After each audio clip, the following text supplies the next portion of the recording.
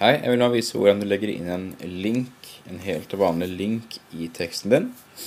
Hvis jeg ønsker nå å linke for eksempel til en hjemmeside, så kan jeg markere den teksten jeg ønsker skal bli en link. Trykker på den, det bildet av en kjetting, det står for lenk, lenke. Eh, kjetting er, eller kjettinglink er en link på engelsk, derfor heter det link. Trykker på den og får opp et pop-up-vindu. I det vinduet kan jeg skrive inn adressen, her kan du skrive inn for eksempel adressen til lagehjemmeside.no. Det er http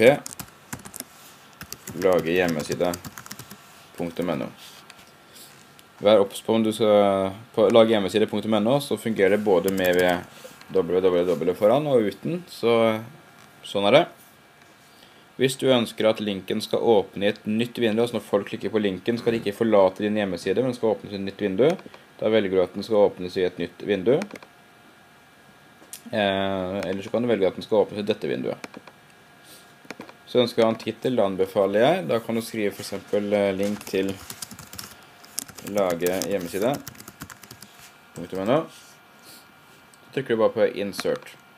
Der ligger en link der, og trykker du på lagre endringer, skal vi se hvordan dette ser ut i praksis. Dette var på siden som heter um, test. Så da trykker jeg på forhåndsvis websiden.